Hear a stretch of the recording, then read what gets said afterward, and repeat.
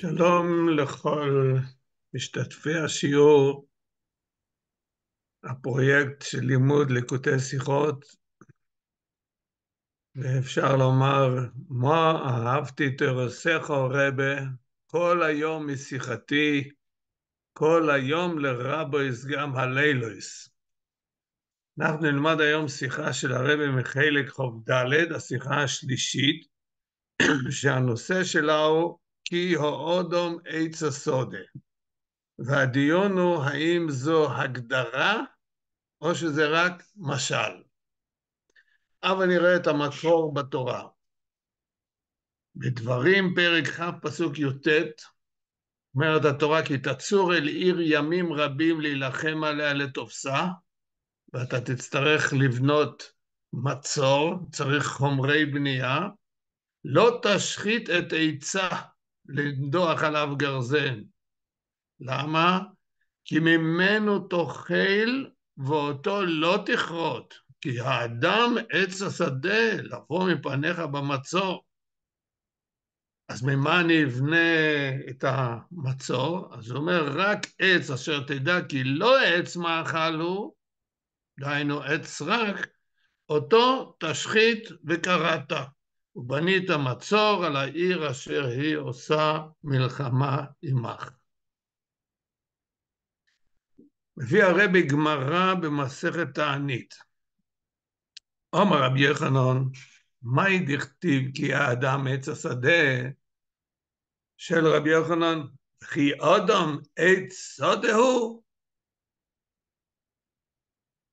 אלא הוא עונה, שום דקסיב כי ממנו תאכל ואותו לא תאכול. ופסוק אחר אומר אותו תשחית וקראת, הכיצד?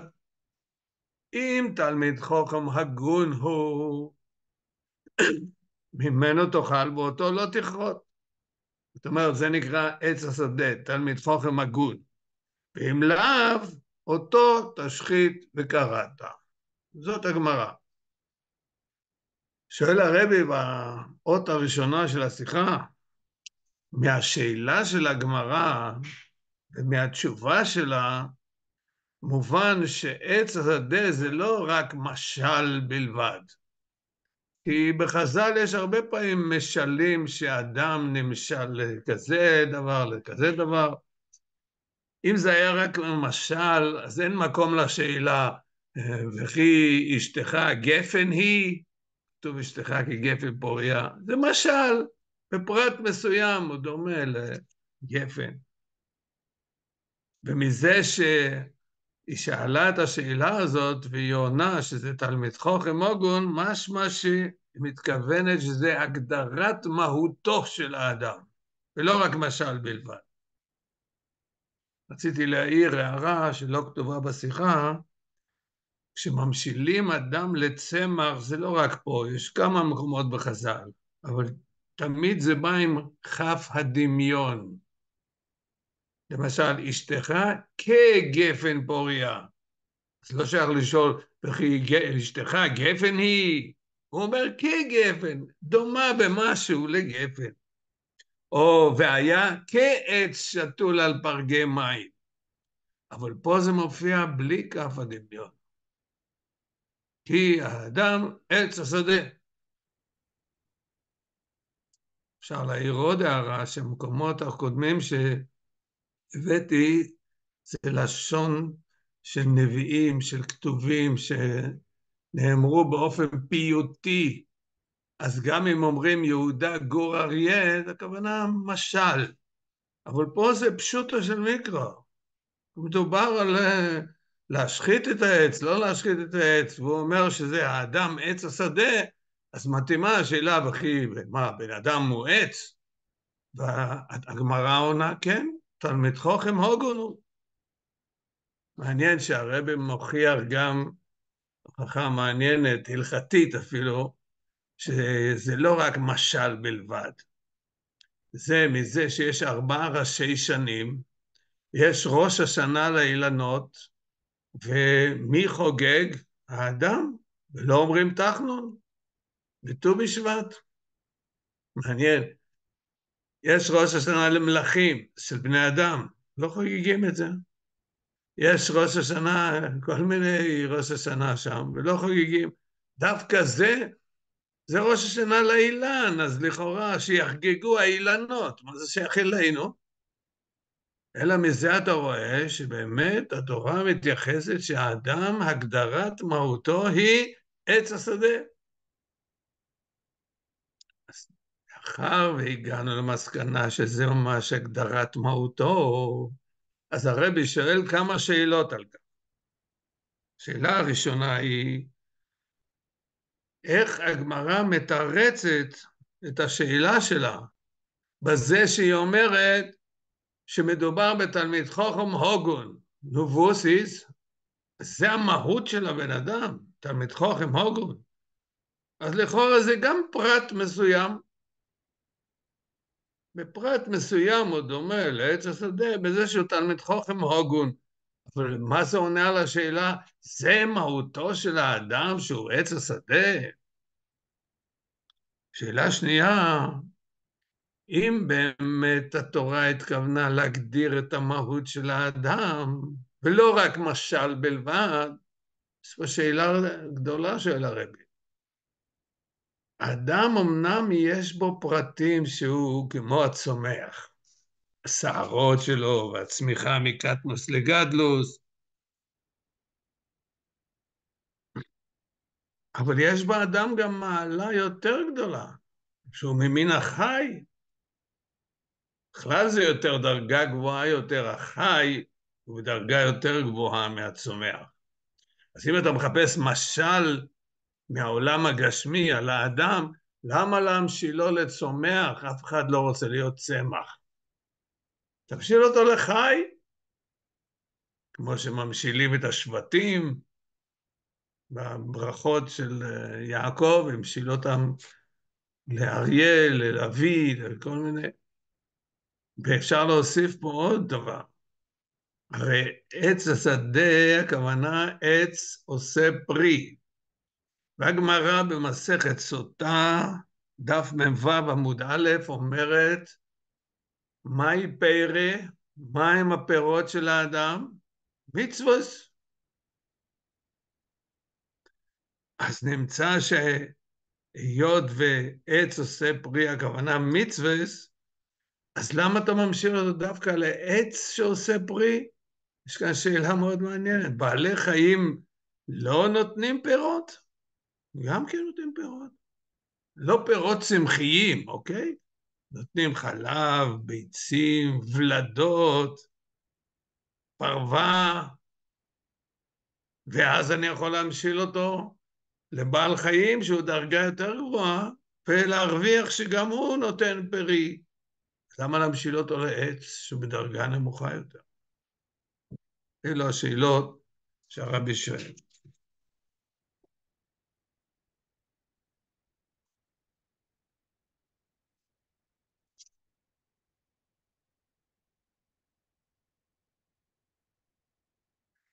ואז בעוד ב' הרבי מתחיל לבאר בשיחה שהמעלה הייחודית שיש באילן יותר מבעלי חיים, זה שהוא איננו מעלים את המקור של חיותו.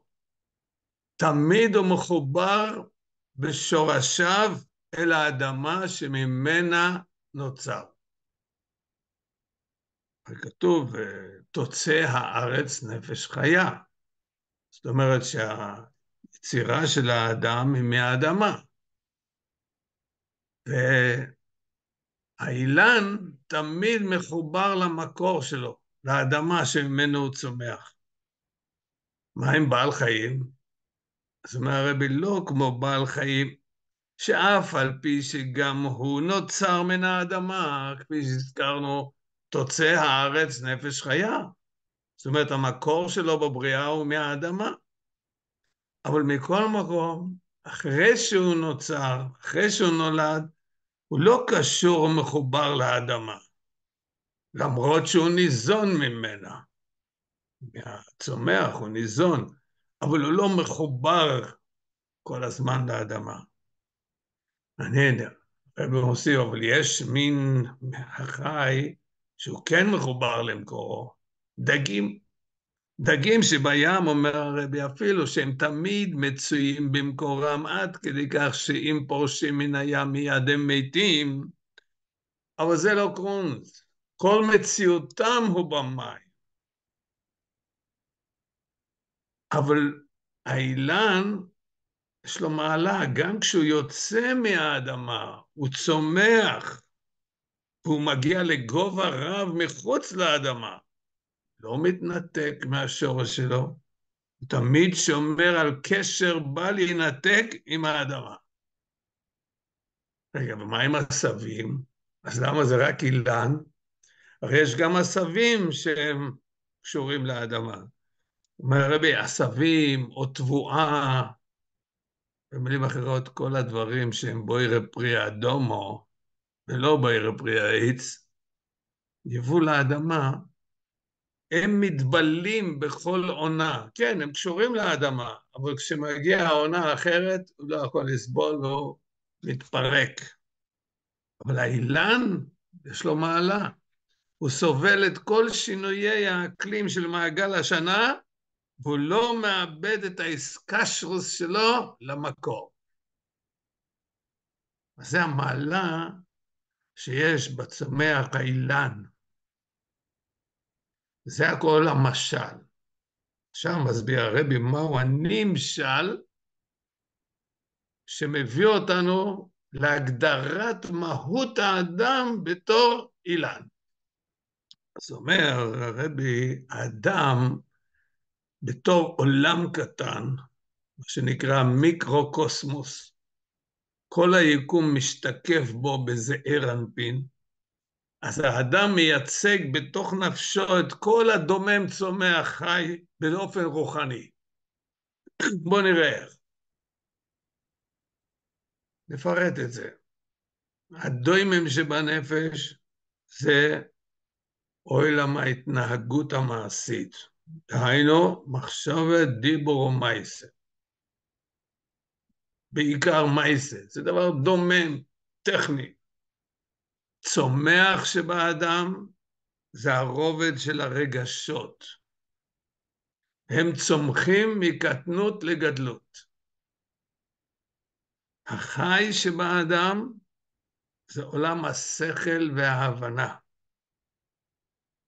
מי זה המדבר שבאדם? מבואר בתניא שזה יכולת הדיבור, כוח הדיבור שנעוץ בספירס החוכמה, ששם מקור האותיות, יכולת התקשורת עם הזולת, לצאת מגדרו שלו ולהתחבר אל זולת, זה המעלה המיוחדת של המדבר. מעניין, זה גם מתאים לארבע אילמס. אוילם המעשה זה אוילם העשייה. אוילם הרגש צומח, זה אוילם היצירה, שם יש מלאכים שנקראים עצי היער.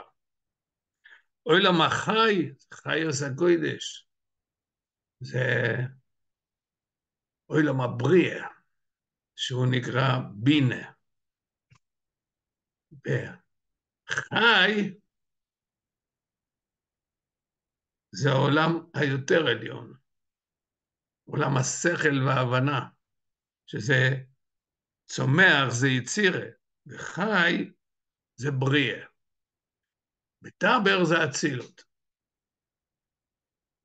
אז יוצא שהיות והאדם מכיל בקרבו את הרבדים של כל הדומם צומח חי, אז עכשיו אנחנו נראה בנמשל שמעלת המידות על השכל מקבילה למעלת האילן על החי. איך? מסביר הרבי, שכל הוא לא מוגדר לטבעו של האדם. יכול אדם להבין גם השקפות של זולתו, או גם כן הוא לא נעול על תפיסתו הראשונית. נגיד שהייתה לו איזו השקפה, אפשר להתווכח איתו, הוא יכול להחליף השקפה ולזנוח את דעתו הקודמת, או את הדעה הקדומה שלו. ניתן לשכנוע. במילים אחרות, הוא כמו בעל חיים, הוא מתנייד באופן חופשי. הוא לא קשור לתפיסה שמוגדרת דווקא לפי אופיו וטבעו. אובייקטיבי, פתוח. זה כמו עולם החי. אז צריך להוסיף פה הערה שלא כתובה בשיחה. אנחנו רואים הרי הרבה פעמים שהאדם נעול על השקפתו ולא מוכן להשתכנע. על פי רוב זה מדובר אחד שהוא איננו בר שכל בעצם מהותו.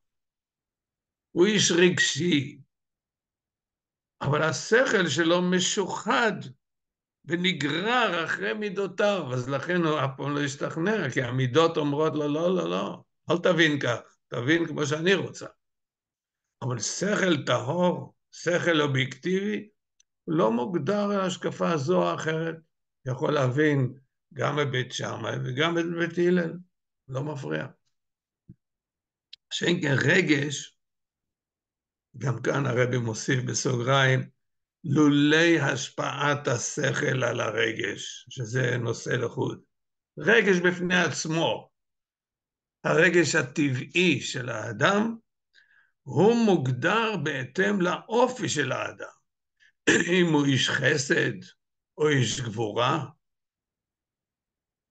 נכון, גם במידות יש שינויים, מקטנות לגדלות רק. כלומר, השינוי שיכול להיות אצל אדם בהתבגרו, זה מהי רמת התאוות אליהם הוא משתוקק. הוא תמיד יהיה כעסן. השאלה אם הוא כועס על ג'ולות או הוא כועס על ניירות ערך. אבל הוא טיפוס כעסן. ואם הוא טיפוס שמח, אז בתור ילד הוא שמח במשחקי ילדים, בתור מבוגר הוא סטנדאפיסט. אבל הוא נשאר באותו קו, איש החסד או איש הגבורה. ההבדלים הם רק בין קטנות לגדלות באותו קו. האופי הבסיסי שלו לא משתנה. מדוע? כי הוא מושרש עמוק באישיותו, הרגש, המידות. אז בואו נסכם.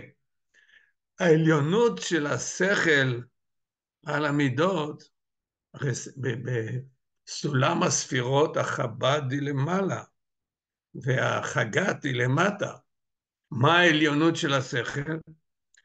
העליונות שלו זה מבחינה פילוסופית. זאת אומרת, הוא מבין דברים עמוקים, נעלים. לעומתו, המידות, אין בהם את מעלת השכליות, אבל יש בהם תוקף גדול מאוד. לכן על פי רוב, ברוב המקרים, הרגש מנצח את השכל. השכל אומר לך דברים, והרגש אומר, נכון, אבל אני לא רוצה, לא בא לי. והוא מנצח. כי הרצון במידות הוא תקיף מאוד, ולא מתחשב באובייקטיביות שאם זה נכון או לא נכון.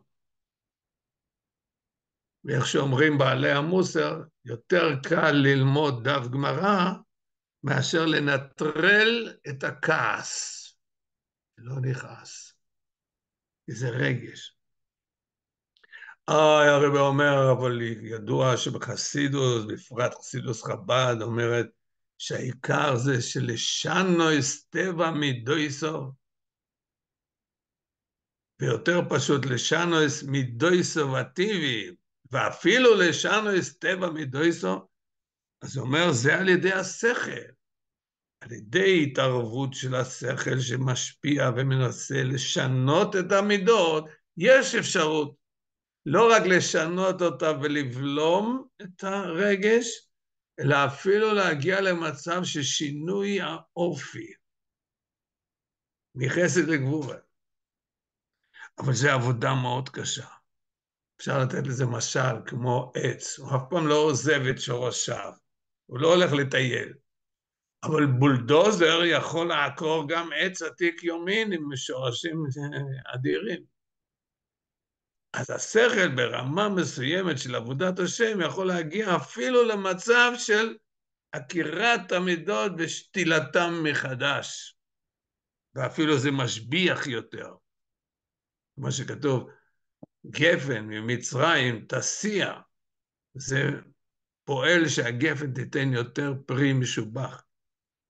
אבל ברגיל, בלי התערבות השכל ביגיעה גדולה ועצומה, המידות יישארו בתוקפן, יש להם תוקף יותר חזק מהשכל.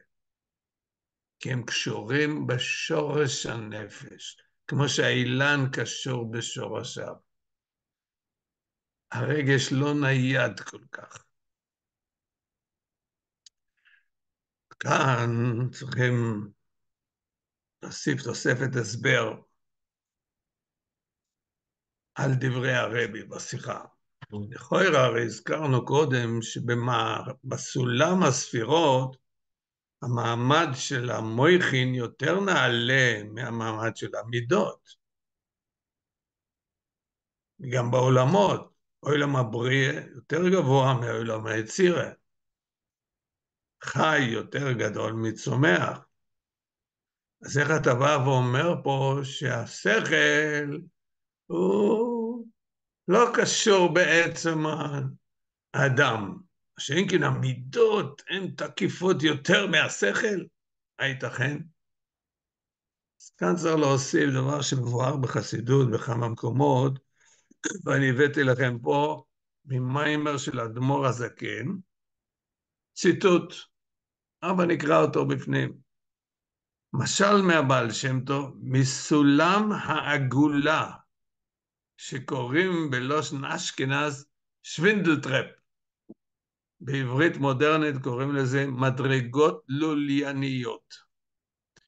העשוי על גבי עמוד אחד, והמדרגות סובבות את העמוד בעיגול. המדרגות הן זו למעלה מזו בעיגול וסביב העמוד עד שמגיעה המדרגה העליונה לראש העמוד ששם נחקק איזה צורה. נדמיין לעצמנו שיש עמוד שבראשו יש צורה של גם חשוב, של המלך, אתה יודע, וכשאני למטה במדרגה התחתונה אני נמצא מאחוריו, אני לא רואה את הדמות. אני עולה קצת, אז אני בא בסיבוב בצד השני, אני מבחינת פנים. ואז אני עולה עוד מדרגה, אז אפשר לחשוב שאני עכשיו אהיה לפני ולפנים. אומרים, לא, לא, לא, הוא עלה, מבחינה אנכית, הוא עלה, אבל מבחינה מסוימת הוא במצב של אחור, הוא לא רואה את הפנים. הוא עולה עוד דרגה, שוב הוא רואה את הפנים. זאת אומרת, זה הולך בסירוגין. לפי זה מוסבר בקבלה דבר מאוד מעניין. הלשונות ידועים, אבל להסביר אותם עכשיו בתוך המדרגות הלולייניות. הזוהר אומר, זו זה אירנפין. מי זה זה אירנפין? זה המידות של הקדוש ברוך הוא. חגת, נהים. זו, אומר הזוהר, בעתיקה אחית וטליה. הפרצוף של הרגש שבספירות הוא נעוץ בעתיק, שזה פנימיות הכתר. עבר, אבא ואמא זה חוכמה ובינה, זה עולם השכל, חוכמוסו ובינוסו של הקדוש ברוך הוא, במזלה התקלילו. מזלה זה תואר לזה אריך אנפין, שזה חיצוניות הכסף. אז מעניין יוצא בדיוק מה שדיברנו. אבו שהם יותר נעלים בגובה, אבל איפה השורש שלהם? בחיצוניות הכתר בלבד.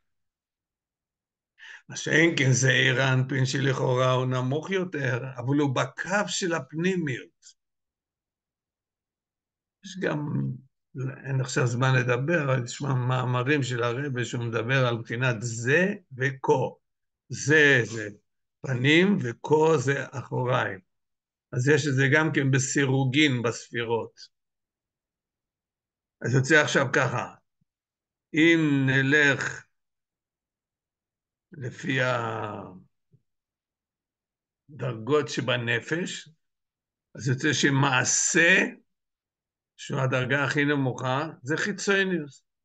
מעשה לא מצביע מי האדם, הוא עשה. מידות קשור לפנימיוס. בינה היא למעלה מהמידות, אבל היא כבר בקו של חיצוניוס. אני מבין, יש לי מחשב שמספק לי מידע, אבל זה לא אני. חוכמה זה למעלה מהבינה. אז בהערה 27 בשיחה הוא אומר מעין בייס, שחוכמה מצד אחד זה גם פנימיוס, אבל בחוכמה זה כוח העצמות, איך שהוא מלובש במשהו מחוץ לעצמות.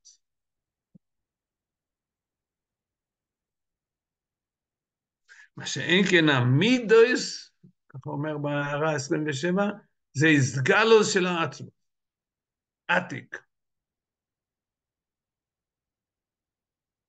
אז, אז עכשיו אני מבין מאיפה התוקף העצום שיש למידות. כי למרות שבספירות הגלויות מעמדם נמוך יותר, אבל בשורשם הם מושרשים בעצמות הנפש. עכשיו בואו נסכם. אז מה מסקנת הדברים מזה? שעץ השדה זה הגדרת מהותו של האדם. מהי מידות, שהמידות נקראות צומח, אילן.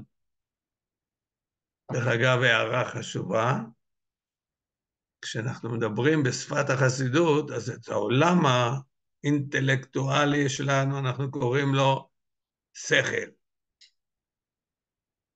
העולם של התקשורת קוראים לו, לא תקשורת, קוראים לו דיבור.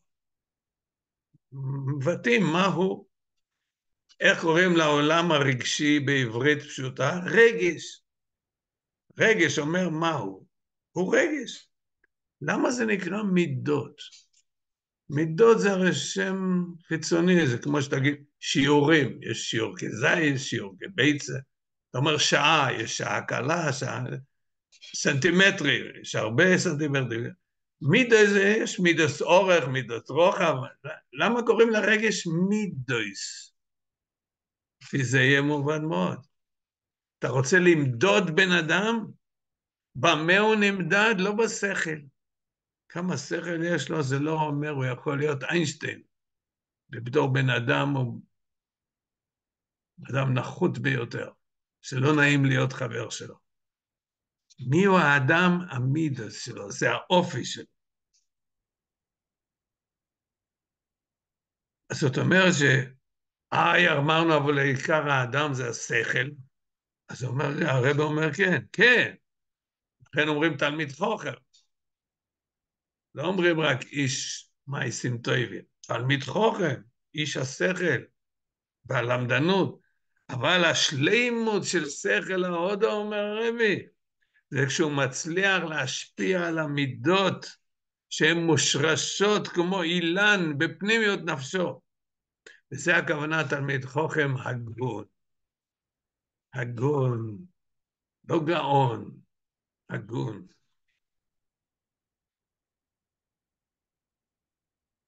זה באמת הסוד של ה...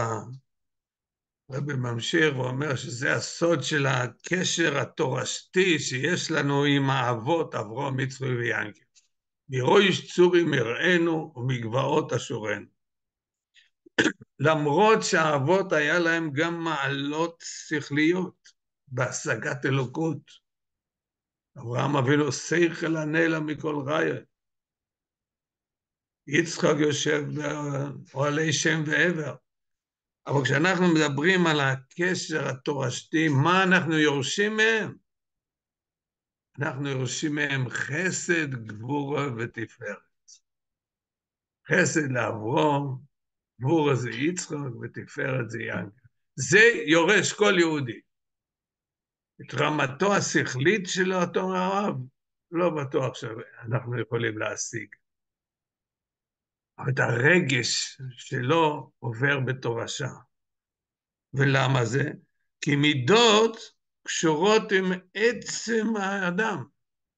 הן עוברות בתורשה. זה גנטי.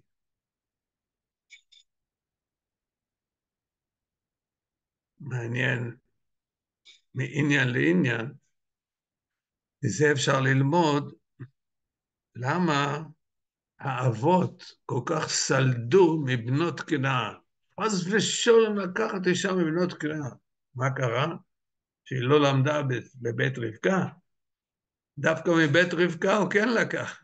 שם בארם נהריים הם היו צדיקות, מעובדות עבודה זרה.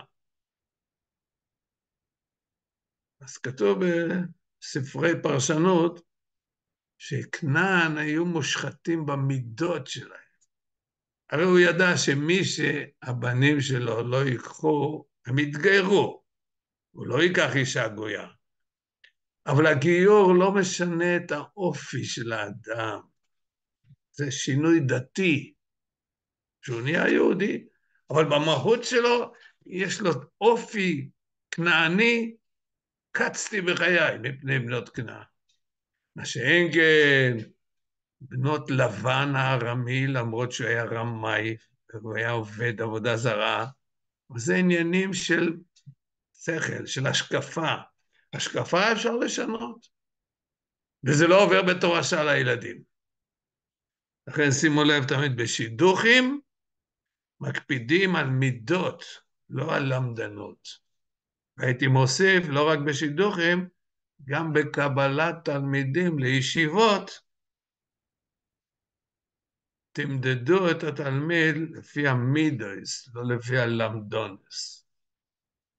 האודום עץ הסודה. עכשיו, מהי, הרב מסיים את השיחה, מהי אחת ההוראות שלומדים מכל האמור? מקור החיות של ישראל זה התורה, כי הם חיינו וערך ימינו.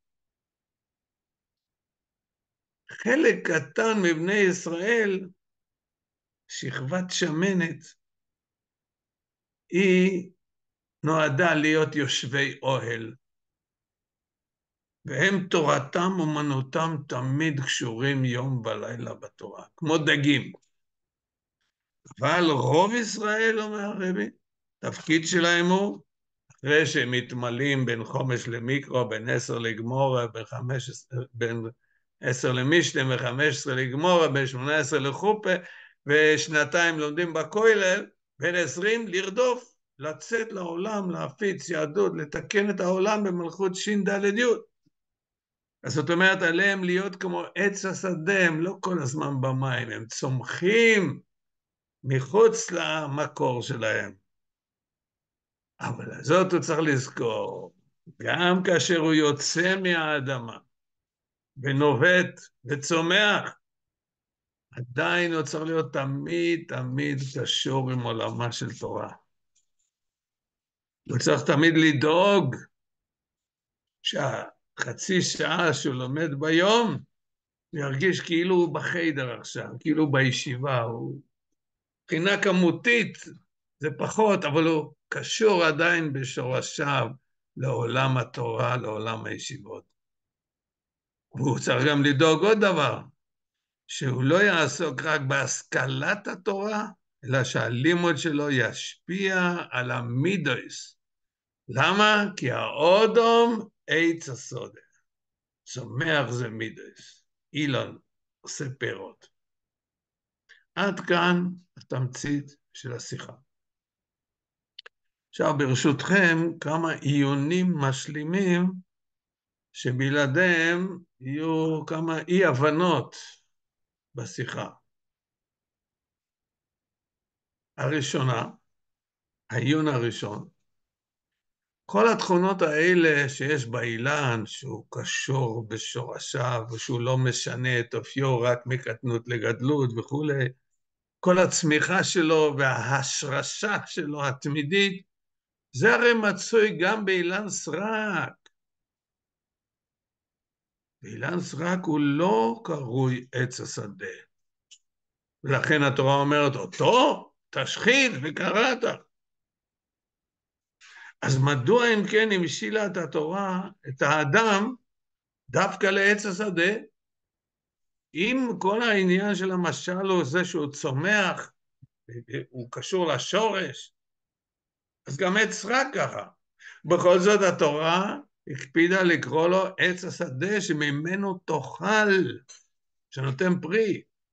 אז זאת אומרת שהסיבה היחידה שממשילים אותו לעץ השדה, העיקרית, זה שהוא נותן פירות.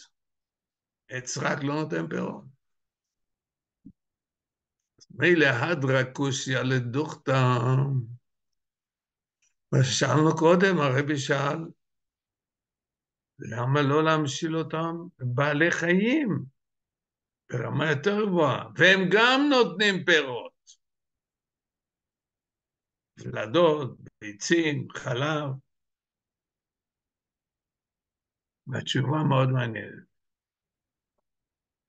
בעלי חיים לעולם אף פעם לא נותנים פירות. כל פירותיהם הם מייצרים לתצרוכת עצמית אינטרסנטית שלהם. הפרה עושה חלב כדי שאתה תעשה קוטג', היא עושה חלב למען העגלים שלה. התרנגולת מטילה ביצים כי היא רוצה את המשך הדורות, שיהיה לה אפרוחים, לא שאתה תעשה מזה חביתות. אלא מה שבני אדם לוקחים מהם את פירותיהם, אבל הם לא נותנים פירות.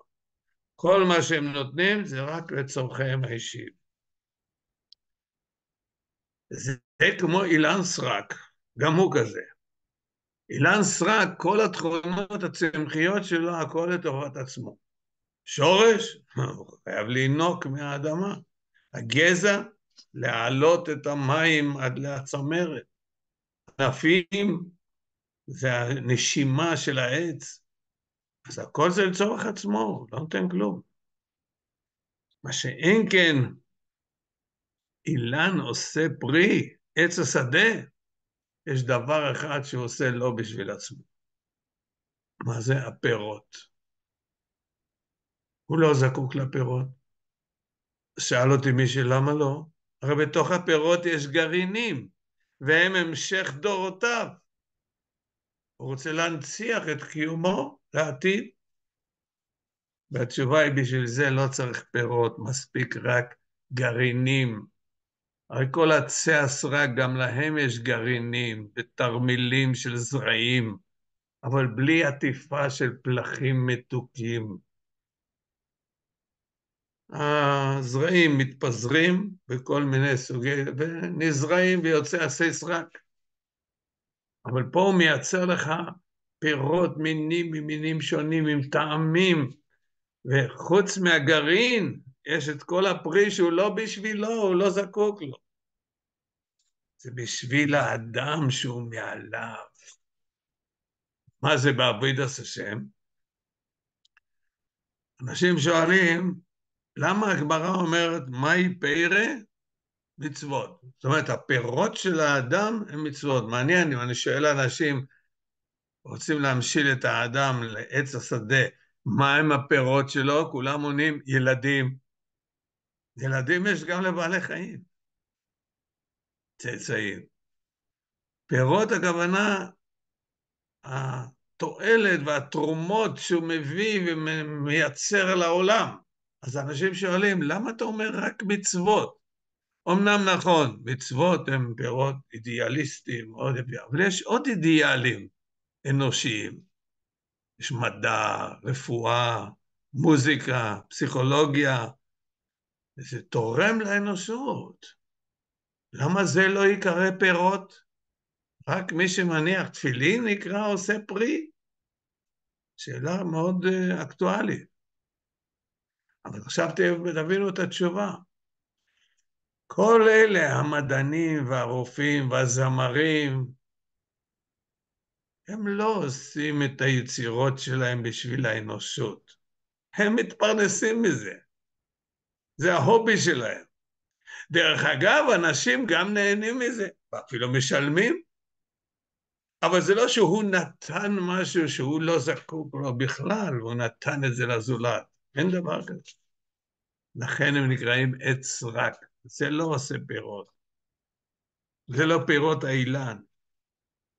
שאין כמצווה, אם תתעמקו רגע, המצווה הרי לא עונה על שום צורך קיומי.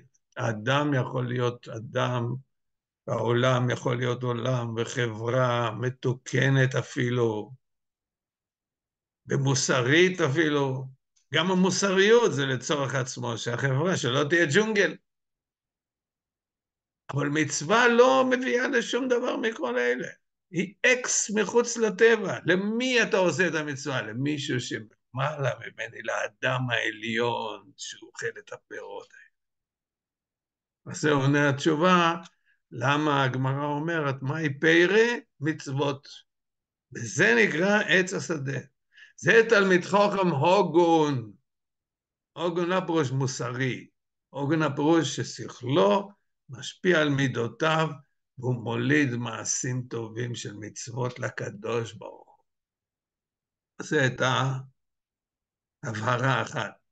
עיון נוסף, שבזה נסיים, לכאורה יש פה קושייה גדולה על כל הדרוש, מלא יש במדרשים ובמפורשים, מה זה כי האדם עץ השדה. כל מיני אנלוגיות והשוואות בין האדם לעץ השדה. הצד השווה שבהם, שהאדם הוא ממש עץ השדה. יש לו קושייה עצומה, לכאורה זה הפך רש"י מפורש. בפסוק, כי האדם עץ השדה, פלא שאנשים לא שואלים את זה. רש"י אומר, הרי כי משמש בלשון דילמה. רש"י קורא את הפסוק ככה, שמא האדם עץ השדה? מה קורה לך? מה אתה רוצה מהעץ? למה אתה הורג אותו? יש לך מלחמה עם האדם, לא עם העץ. מה, האדם הוא עץ? אז זאת אומרת, לפי הפשט ברש"י, זה לא השוואה לאדם, אלא זה הנגדה שהאדם הוא לא כמו עץ השדה. אז איך אפשר שהדרוש יהיה כל כך רחוק והופכי מהפשט? יש לו עם התשובה לזה, שזה בא לתת מענה לכאלה שאחרי שהם שמעו את כל הרעיון הזה, שפירות זה רק מצוות, וכל שאר האידיאלים שבעולם הם לצורך עצמו. זה לא משהו באמת אידיאלי, זה אינטרסנטי לעצמו. אז יש כאלה שאומרים, אתה יודע מה? אני לא רוצה להתאמץ חבל לי על המאמץ להגיע למעמד של עשיית פירות, מצוות, זה קשה מדי. אני מעדיף להגדיר את עצמי כעץ השדה, עץ רק. נכון, אני לא נותן פירות, אני הכל רק לעצמי, אבל אני צומח, ויש בי מעלות, וקשור לשורש, ונותן צל וריח, ומה, מה לא טוב לי? דייני בזה. עונה לו רש"י ברמז, שמא האדם עץ השדה, היית רוצה להיות כמו עץ רק. עץ רק, נכון שהוא לא נותן פירות למה שמחוץ ממנו, אבל כל התכונות שלו הן לצורך תועלת קיומית. אין אצל העץ רק דברים שהוא עושה הרס עצמי. כל מה שהוא עושה זה לתועלת עצמו. ואתה האדם הזה, כל תאוותיך הם הרי הרס עצמי, הפך הקיום. כל המחלות וכל הצרות וכל המלחמות באים מהתאוות החריגות של האדם שהם לא לצורך קיום. אתה, אתה לא יכול לחיות כמו עץ רק. אתה נוצרת להיות עץ השדה. שחייב לתת פירות. ולכן נדרשת ממך עבודה עצמית, עץ השדה לא צומח לבד. עץ רק לא צריך שום טיפול, יורד גשם משמיים והוא גודל, יפה מאוד. עץ רק צריך ניקוש, זיבול, גיזום, ריסוס, השקיה. ואתה יודע מה יקרה? בלעדיהם זה לא רק בעיה של לא תוציא פירות, טוב, אז אני אהיה עץ רק. עץ פרי שלא מוציא פירות, עליו נאמר הפסוק הלא נעים, ויקב לעשות ענבים ויעז באושים. הוא מתרכב, הוא בלה. לכן זה מה שמלמדים אותנו, שהאדם הוא עץ השדה, העיקר זה המידוס. ואיזה מידוס? שמביאות לידי פירות. ומה זה פירות? מצוות שהן לא לצורך אינטרס של האדם, אלא לצורך דירה בתחתונים שהקדוש ברוך הוא רוצה. וזה בעצם הכניסה שלנו לחודש אלול, לחשוב איך אני יכול לתת פירות לדודי, ודודי לי. יישר כוח ולהתראות.